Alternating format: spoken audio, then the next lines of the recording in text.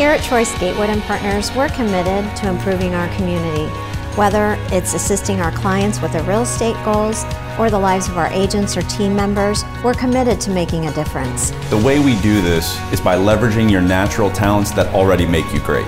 So if you're worried about not having any real estate experience, don't worry about it.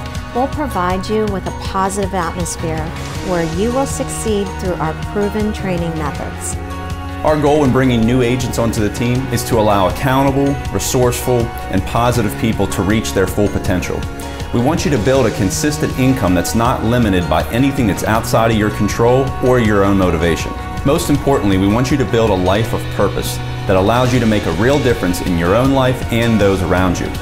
You'll need to bring your positive mindset, your internal motivation, and your will to succeed.